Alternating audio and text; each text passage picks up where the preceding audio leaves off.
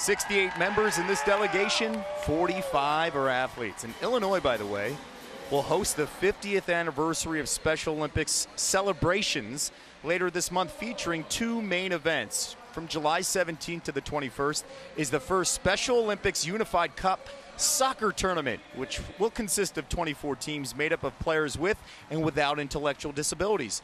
18 countries will vie for the inaugural men's and women's titles. The finals will air on ESPN2. And then July 21st is the Global Day of Inclusion, marking the 50th anniversary of the first Special Olympics. The event will take place at Soldier Field.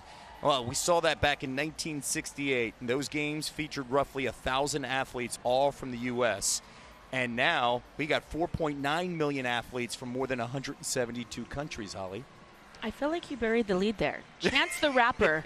Chance the Rapper is participating in a free concert or in a concert. It's not free for, to raise money for the Special Olympics and celebrate that anniversary. So Chance the Rapper, who is doing so much good work in the community of Chicago and is lending his name and his talent to Special Olympics. Um, he is a young man that just has my heart. So Chance the Rapper concert. I was saving the best for last. Oh, good. Okay. Okay. I will never doubt you again. I like that. Usher's going to be there. It's going to be a big concert. That's great. So it's it's worth it. With three weeks away. Want to let you guys know too that we have 2,200 athletes here. And how about this? Roughly 15,000 volunteers are at these games. Let's not forget that. This is not just a celebration, as we will rightfully on the athletes.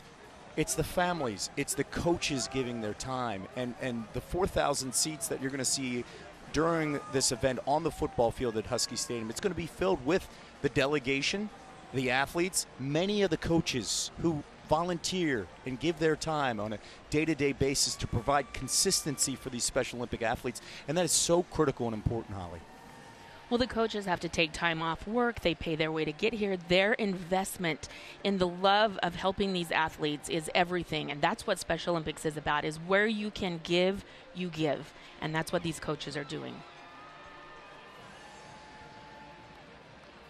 Perfect timing, too, by Mother Nature with the sun coming out. It is gorgeous here. Beautiful day in Seattle. You know, they have got 14 different sports going on this whole week.